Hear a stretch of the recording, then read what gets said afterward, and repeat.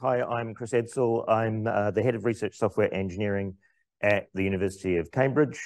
Um, one of the other hats I wear is the acting principal engineer in the um, Cambridge Open Zettascale Lab, um, where we're looking at uh, what would be needed to uh, make the next generation of HPC systems. So we've, we've hit exascale already. Uh, what more do we need to do to, to get to bigger systems? And one thing that's obvious is we're not going to get to a bigger system with a CPU-only approach. Um, at the moment, um, every every large system on the list in the in the top ten, with the exception of the Japanese system Fugaku, is a combination CPU and and GPU machine. Um, and when I say GPU, um, people normally think of the GPUs from NVIDIA um, because they've been very successful making and selling them. I should disclose I have no stock in any of the companies that are mentioned in this talk. Um, so why would you want to use SYCLomatic, which is how we're going to pronounce it? Um, you might want to, if you have um, CUDA code already, if you've got code that's written for GPUs um, and it used the NVIDIA um, software development kit, uh, it's written in CUDA, but you've got a problem. Uh, the the computer you want to run it on might not have NVIDIA GPUs. So you might be running on um, Lumi with AMD GPUs, um, or you might be running on Aurora um, with, with Intel GPUs. Um, this approach actually does work with um, NVIDIA GPUs as well. So what you can do is you can take code that only runs on, on one GPU vendor and write it so it can run on all three. Um, one thing I'm not pointing out, not mentioning here is performance portability. If you wanted to hear about that, you have to talk to Tom Deakin from the University of Bristol. Um, so we're just talking about running and running correctly, not necessarily running at max, yeah, yeah, the, um, the max limit of the, the hardware. So you have CUDA code, you want to run it on something that's not necessarily um, an NVIDIA GPU, uh, and so in this case, you want SYCL code.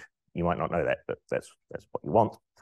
Uh, which raises the question: if you if you didn't already know it, the question is, what is SYCL? Um, so it's a um, a language um, library standardized by uh, the Khronos group, who are the same people who do OpenGL um, and uh, Vulkan.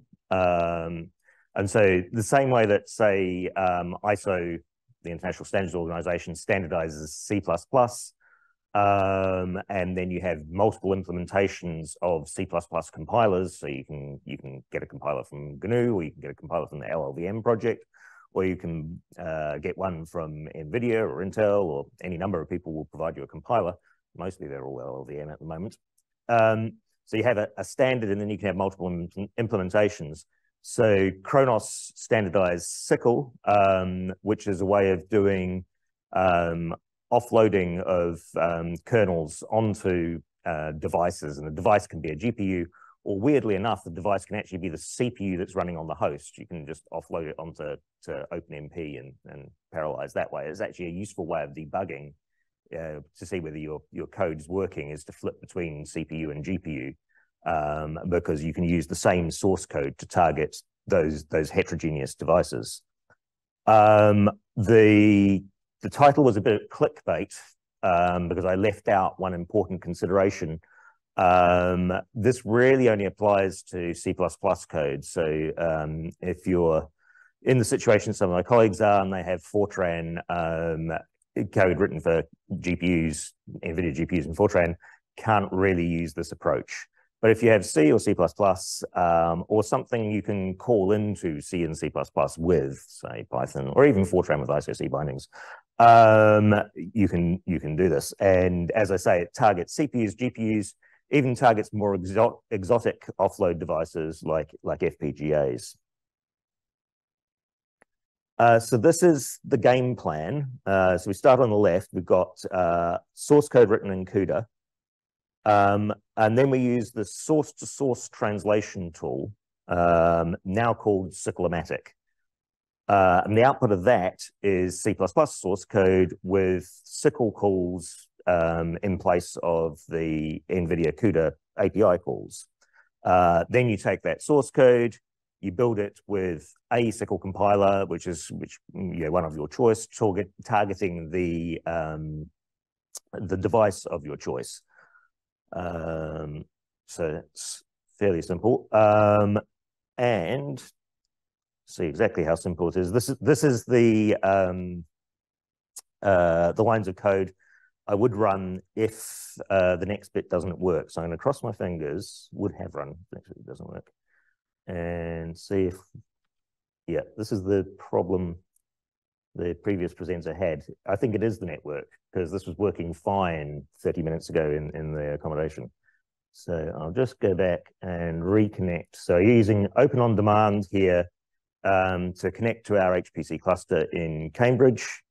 Um, and the, the cluster is heterogeneous. It's made up of various different node types.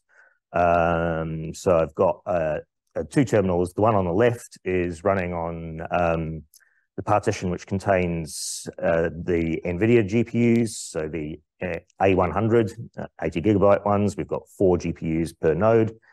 We should be able to see that with NVIDIA SMI. And in the right-hand terminal, uh, just because I can, and I'm flexing, um,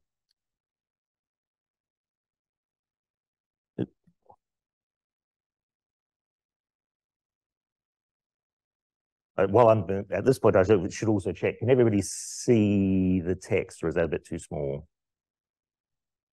It's a bit too small. Okay. Uh, if you've seen uh, NVIDIA SMI output before, you'd know what this is. This is just a, a listing of each of the GPUs in the system. It's just to prove that we've we're on the right node. Um, we've got the right hardware. Bear with me while I um, resize this terminal.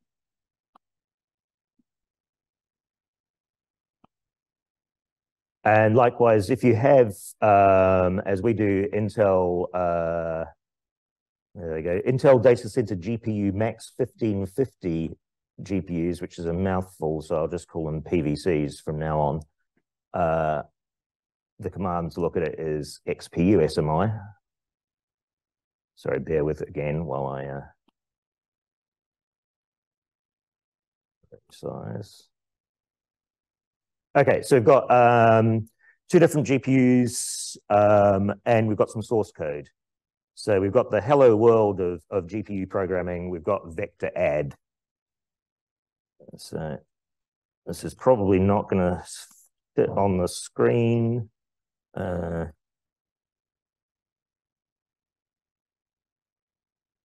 so standard uh, CUDA code, you import the, you include the, the, the header file.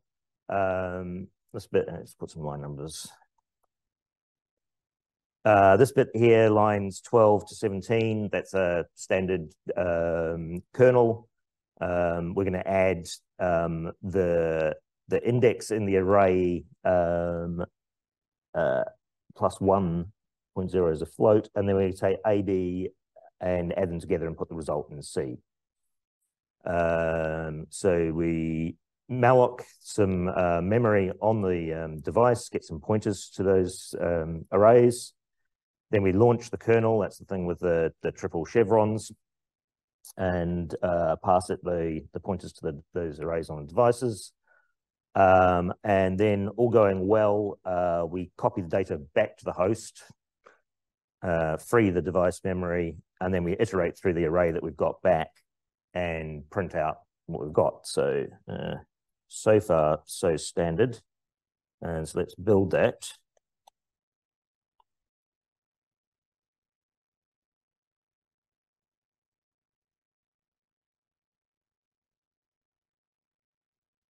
And run it.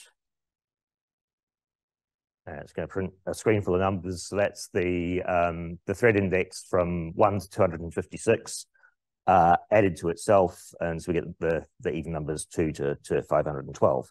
So uh, I've done nothing special so far. This is just the result we want to get when we run it on the Intel side. We want to get the same. This is the, the, the ground truth, the golden output at the moment.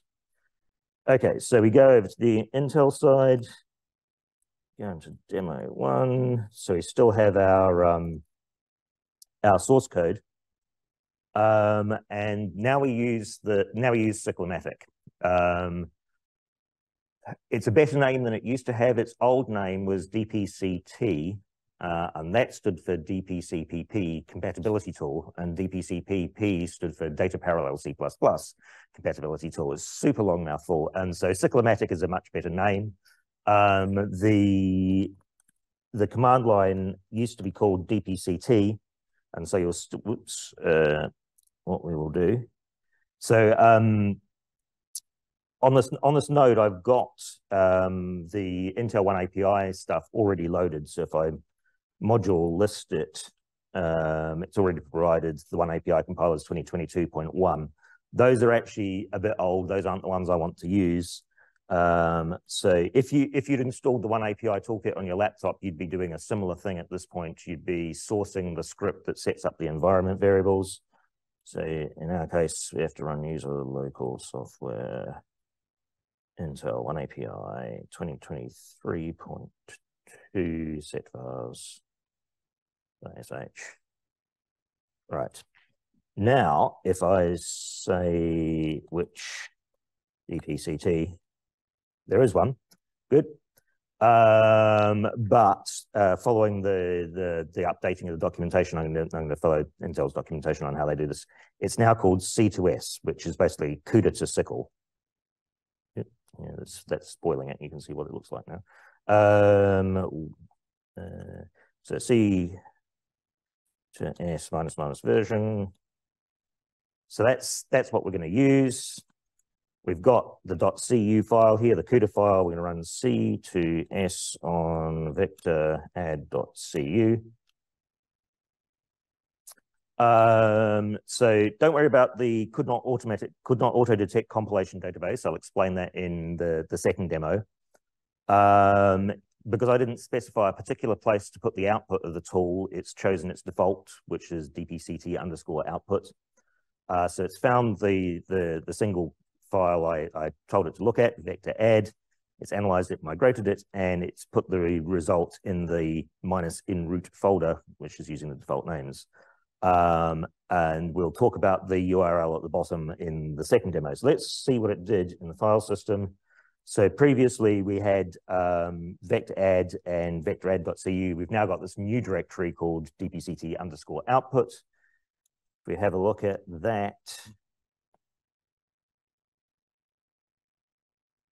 uh, we've got two files. I'm going to ignore uh, main source files.yaml, um, but we've got the the vec the migrated vector add file. So it's called it it's changed the the um, the file type suffix from suffix from .cu to .cpp, uh, and it's added in that .dp there, so you can see that the DPCT tool did did that. So if we just uh, open that file,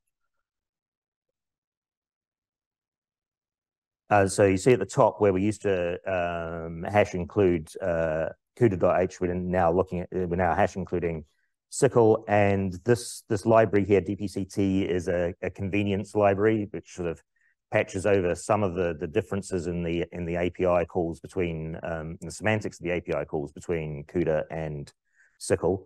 Um, so CUDA API calls can manipulate the state of the device for sub subsequent calls, whereas SYCL is more atomic. So um, if you've got any state that, that your CUDA code is persisting, you need to do that separately to, to the, the SYCL calls. That's what the DPCT library is there. And then you see um, this, this, is, this is what used to be the um, CUDA kernel. This is what it looks like in SYCL code. We're still taking A and B and adding them to get C. Um, this verbiage down here is how you set up um, the, the objects that SYCL needs to talk to the devices. So you need a, um, a SYCL queue um, before we were calling CUDA malloc. Now here we're calling, calling SYCL malloc device. Uh, this is a bit more verbose than the um, CUDA launch syntax. Uh, this is SYCL kernel launch syntax. But uh, the benefit here is this is actually just C++ Lambda syntax. So while CUDA code is not C++ code, the syntax isn't exactly the same. There's some additions.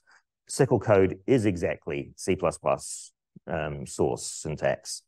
Uh, the benefit there is that if you've got tools that understand C++ source syntax like linters or language servers for IDEs or anything, it's just C++, so, so it'll be compatible. Uh, so that's the kernel launch. Um, this is the copying the data back from the um, uh, from the device to the host. And as with the, the CUDA one, once we've finished with the device memory, we free it, and then we iterate through the vector and print the result. So fingers crossed, um, we can build this and run it. Uh, so the compiler I'm going to use is the Intel One API compiler, the C++ one, which is IPCX. Um, and it needs to know for, for SYCL, so, SYCL source, it needs to know about that. So you pass the minus F SYCL flag, and we'll call it vector add the executable. And that's the code we're going to compile. Thank you. Uh, obviously, if you were, you know, I'm I'm I'm freestyling it on the command line. Uh, we're all RSEs. We would write this in a make file, check it into our version control system. Uh, this is very much uh, for demo purposes. So the compiler is called ICPX. Thank you, Arian. And pass minus F SYCL flag and the network's frozen again. Bear with.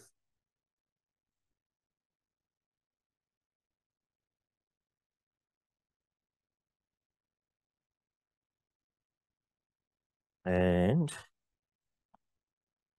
bearing in mind, we want to get the, the numbers that we've got on the, on the left-hand terminal and no errors. And there we go. So we took a piece of source code that was written in CUDA and only ran on NVIDIA GPUs. We ran a couple of commands. So we ran C2S and some change directory, uh, compiled the result, ran it, and we got the same answer. Um, and now that, that translated source code, we could run on an AMD GPU, and we could run on an FPGA as well. Um, so we've liberated the code in some sense.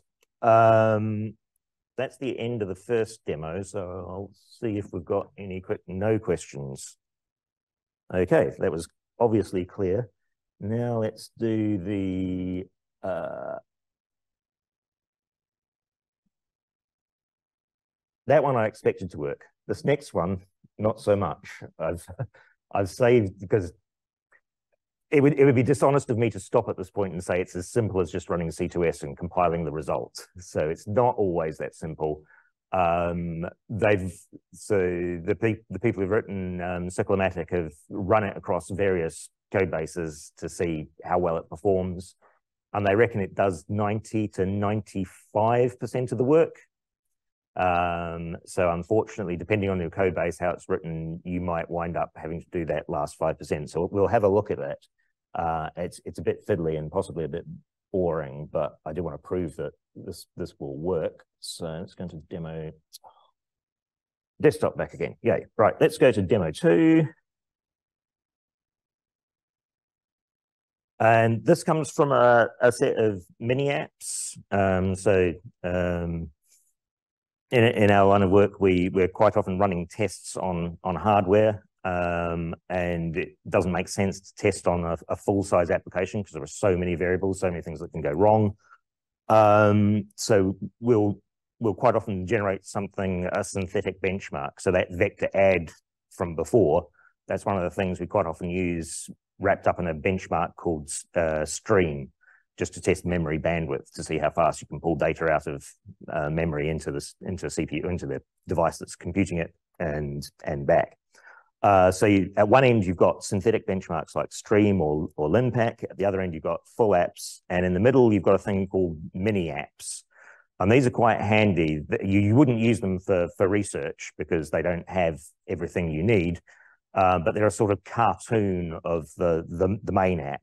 Um, so it would reproduce most of the numerical um, features, not necessarily exactly the same results. So um, there's a really good set of mini apps um, from SPEC Corporation called SPEC HPC, and we use those for looking at um, uh, energy efficiency, um, you know, tweak, tweaking our HPC system to see how that affects um, different sort, sorts of codes and, you know, weather codes behave differently to material science codes. So um, this is another mini-app benchmark suite. This is the Rodinia benchmark suite. And in particular, the, the application, the mini-app we're going to look at is Needleman Wunsch, or Wunsch, and pardon my pronunciation.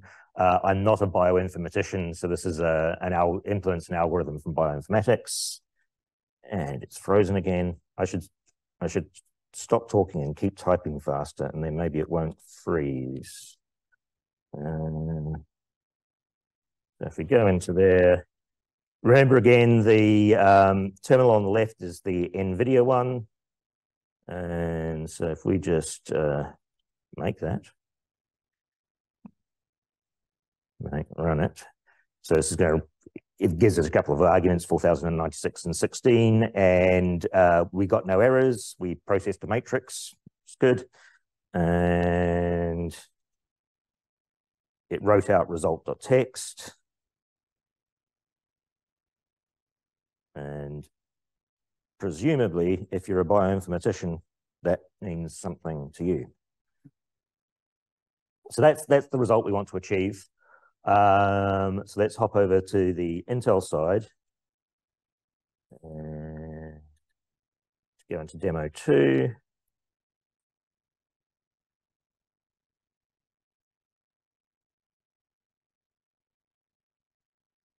And this is different to what we had before. Before we had just one CUDA file. Uh, now we've got a project. Uh, it's got some Microsoft project files in it, and a Microsoft uh, whatever it is solution file. It's got a make file, which is cool. Um, ignore the fact that it's got compile underscore commands.json. I think that's because I didn't sufficiently clean it after um, after testing earlier. But we've got, um, and if you look in the source file, source directory, we've got uh, several CUDA files, two CUDA files and a, and a header file. So we can't do what we did before and just feed feed a, um, yeah one file to C2S. Um, what uh, SYCLomatic also provides is a thing, a, a, command line application called intercept build.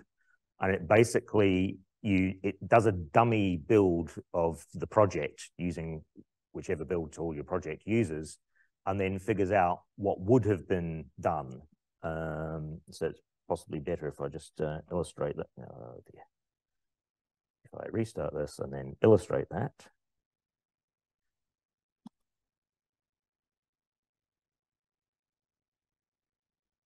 say intercept build.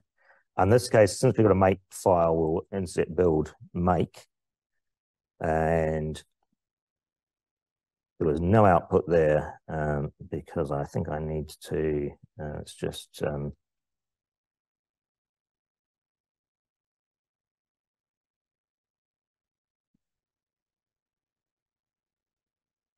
uh, we just run intercept build make. And if we look at the, the updated files, so it's written out a zero, I don't know why it's written a zero length file, but it's written out this, um, this the short thing, this commands, uh, compile commands.json.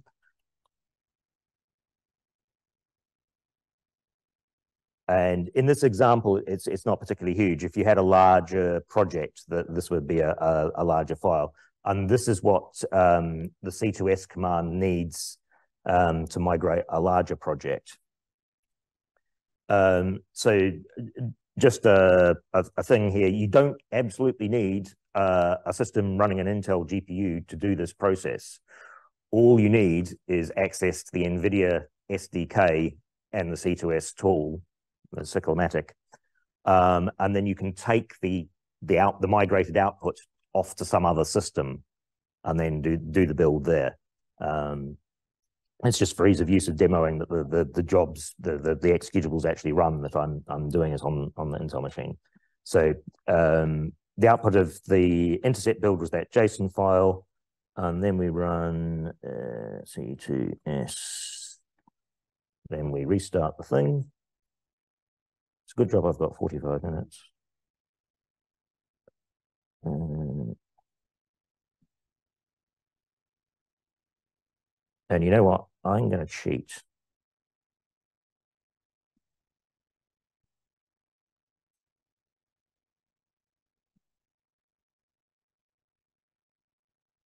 Because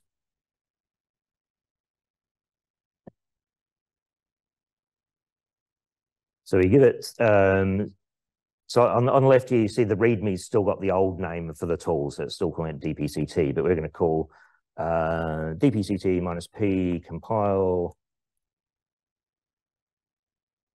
commands.json. And then before we just used the, oh, for God's sake, I'm getting about 30 seconds before it freezes.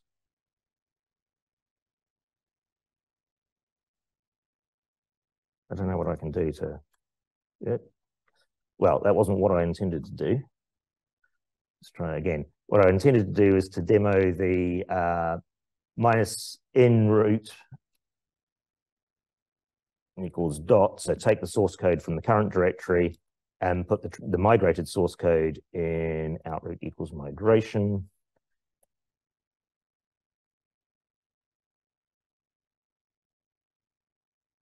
Right. So uh, unlike the, the smooth sailing last time, we, we've got some warnings here.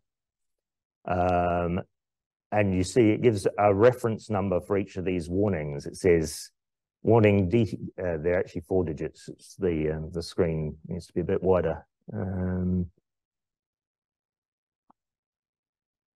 DPCT 1101. And so there's a, a reference here and you can look up, and I don't even know what 1101 was. Uh, one, one.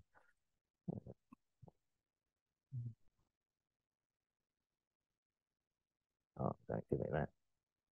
Anyway, the, the point being, um, for each of the, the diagnostic warnings, you can look up what it is and you can see whether the tool had trouble translating the, the source code, um, whether it thinks you, sh you should look at it, whether it's flagged it for, for human review because it thinks that you know, you, you, it, it would work, but it might be better if you did something else, or whether it's just failed outright and it can't trans. There's, there's something in the CUDA code that it's it's not able to translate at all. So that's that might be the the five percent of the the ninety five percent.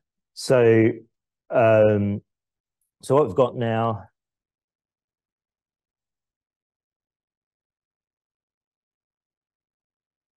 What we've got now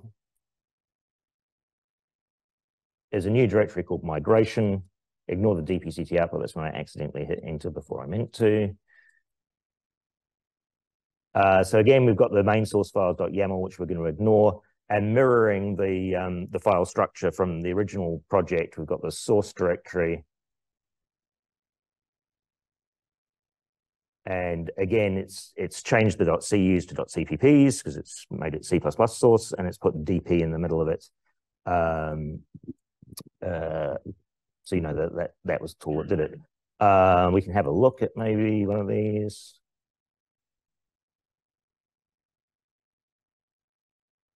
Let's go and find one of these errors that it's flagged. And so 11, so 1043, the version related API is different in SYCL and initial code was generated, but you need to adjust it. So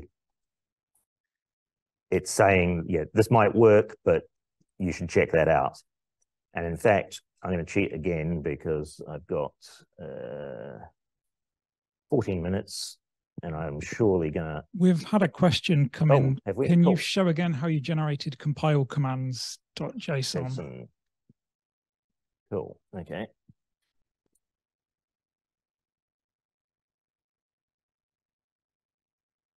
So let's actually blow away those. So we'll reset this to how it was.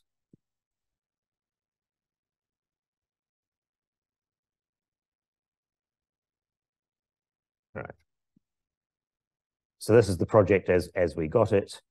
And then we run intercept build, intercept dash build, make. There. I should have tab completed that.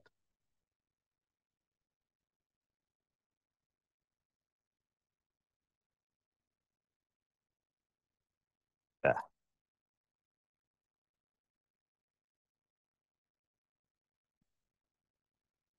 I'm confused.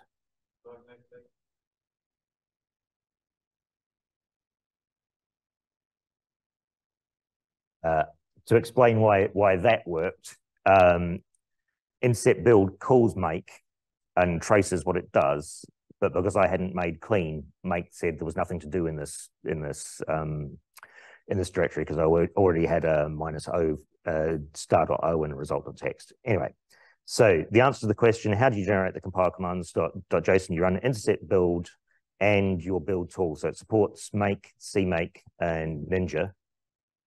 Um, and uh, there's something in the in the README about if you can get your um, build system to output the the commands in the in the correct format, then then it would work with intercept build as well. So.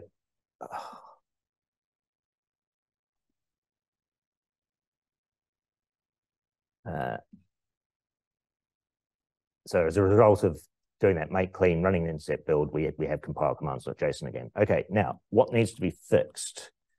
So if we go into source, um, I'm going to cheat with the README because it tells me, and this, this is a somewhat error-prone process, but I, I, thought I needed to, to show you, um, so it's not all as plain sailing as demo one. So let's copy the make file. Uh, I need to go up one directory, copy the make file. Oh, that's a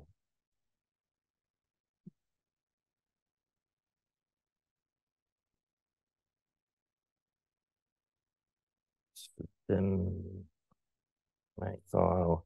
So we're going to need to change the compiler. It's no longer CXX. It's uh, ICPX. Um, the source files. Okay, well, I've, I've, figured out it doesn't matter how fast you type, it, it'll just freeze in the middle of it. It's definitely this room because it wasn't doing this elsewhere. So that is now needle.dp.cpp and that is needlekernel.dp.cpp. Uh, um, we're going to ignore that line because we don't have any CU files anymore. Um, and because this example was made before some changes to the tool were made, um, if you use the old name for the compiler, it, put, it would put the minus F SYCL in there for you. Uh, so let's have some CXX flags there.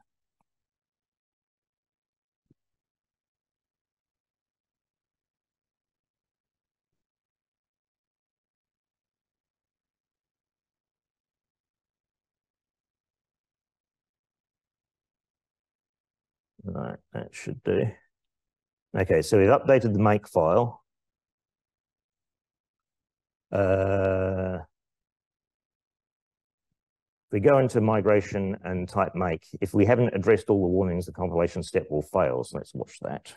Uh, oh, oh actually needs, so we, we, because I reset things and blew away the, um, the directories, I, I now need to do that. Um, that's just do that again. Okay, so we go into the migration file directory. And uh, leave that there, actually.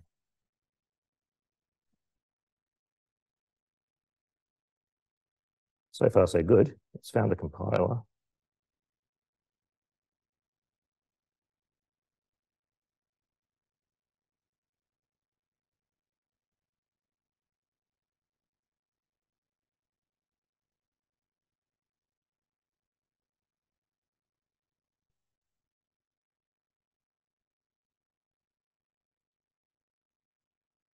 So I made a mistake, but the mistake meant that the thing worked. so we, we have taken the, the bioinformatics code, converted it from, from CUDA to SYCL, compiled it, we've run it on uh, an Intel GPU, uh, GPU, and we get, um, this is not the way RSE should test things, but by eyeball, this looks like a similar set of numbers. Um, a, a unit test here or an end-to-end -end integration test would be better. Uh, what was supposed to happen is that was supposed to fail um, because you remember um, there, were, there were a whole bunch of warnings and all those DPCT comments that had flagged in the source code. Somehow I've accidentally got the corrected, the manually corrected source code in. So um, I don't know whether to leave it there or to break it on purpose and see. Well, we've got two questions. We might okay. Let's read questions. So the first question is: If site uh, SYCL, which they support CPU, does that mean ISPC has been abandoned, or are there still advantages to both? Does that mean which has been abandoned? I ISPC. Is that typo? Uh, it's another Intel magical technology for cross device things. Right. Uh, I think so. if you, if you if you so this this um so this is awkward because I'm demoing the Intel tool, but uh, SYCL is a, a non-Intel thing. It's a it's a cross-platform open open standard. Um, so and you know you could you could get SYCL uh, SYCL compilers from the University of Heidel, HipSYCL. You can get it from CodePlay from Scotland. Their one's called Compute CPP. Intel's one. Um, it, their their approach is called One API. And basically, they take took all of their previous software and put the word one in front of it. And so it's now, you know, one DNN, one MKL, one everything, uh, one API. And I'm guessing there's been a scorched earth behind it on, on other tool names. It's also part of an API, but um, I, right. I don't know what the use case for both guys the last comments in their repository 14 hours ago, so it doesn't seem abandoned. For the stream, uh, the, the, the word from the audience is I, ISPC has not been abandoned because the last commit to their repository was 14 hours ago. So. Um, the second question was, um, have you got any comments basically on the difference in between CUDA performance and SYCL performance on the same device? Um, yes. Uh, so we ran a um, an experiment in Dirac last year. We we got four teams and um, took some source code, took some actual real applications, and said, well, let's not try and port the whole application. Let's just port one one kernel and and see what happens. And there we got three quarters of the results. So three of the teams were able to to um, get the code running. The the team that were not is because their there was nothing to to port because the CUDA code was generated on the fly by the system, and so that was a bit a bit too tricky to to build into a thing. So what we did is we took those those applications and then we um, we ran the experiment of trying different SYCL implementations, um, and Compute CPP as I, as I mentioned, and and different devices. And so we, we tried that matrix of you know, for each application, which compiler, which device. Uh, we didn't get 100% coverage. Um, I can't remember the result. um, the, there's a there's a good paper from ISC from 2021, um, which does basically the same thing. It's the people from um, Bristol, as I said. If you want to talk about performance portability, look up uh, the University of Bristol HPC and, and Tom Deakin. They've got some good results there um, which showed for the, you know, for the same source code and the same device, the, the implementation of SYCL had quite a, quite a difference in performance. Um, you'll note that I'm using the, the very latest Intel um, uh, compilers today um, because they are continually improving. So that result from 2011 at the, the ISC conference um, is probably no longer valid because everything's changed. This is a fast, fast moving um, environment. Uh, Another question's come in. Roughly how much of the CUDA API doesn't have a SYCL equivalent? I think you may have covered this one.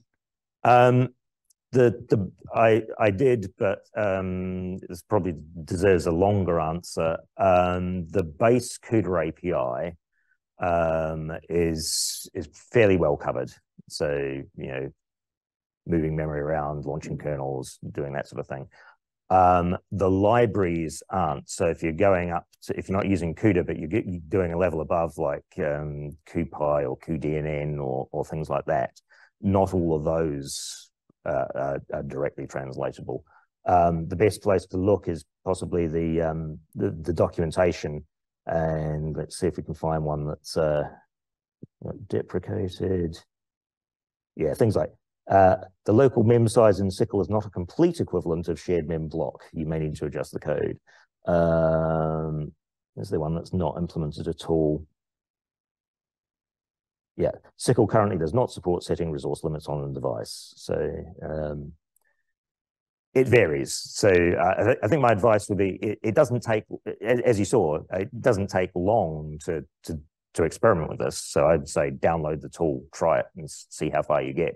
You might get lucky and and not have to do do much work at all. Okay, that's all the questions we've got so far. You've got about two and a half minutes left, I think. That's almost certainly not enough time to break it and fix it. um, but of course I have to keep restarting this. Okay. So let's uh, move that aside.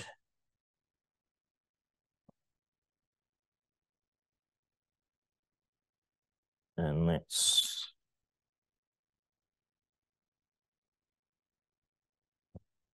talk.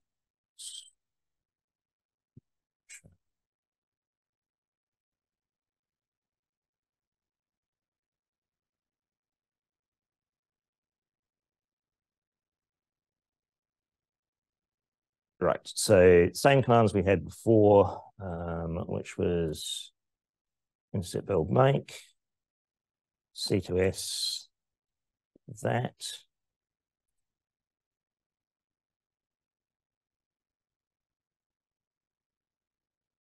Not that.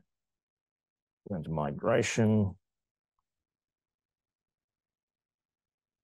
Copy the make file.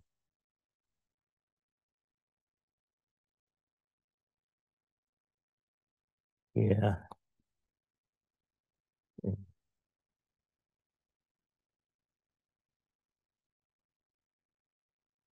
And so again, we want the X. We want that to be, it doesn't, you could call that anything.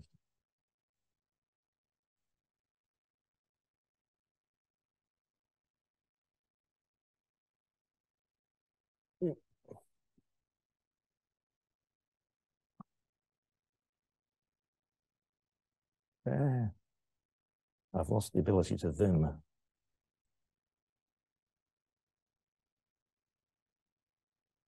All right.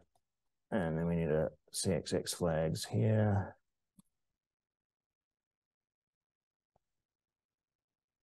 Uh, need a set one. Well, it's three o'clock. We might start losing people. How yeah, long do you think fair enough. left? I I need I need coffee too. um, so this is what yeah, that's the end of the thing.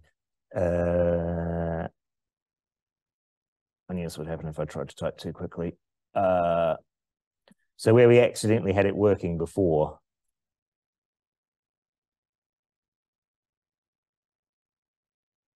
Oh no, I think I know what I did.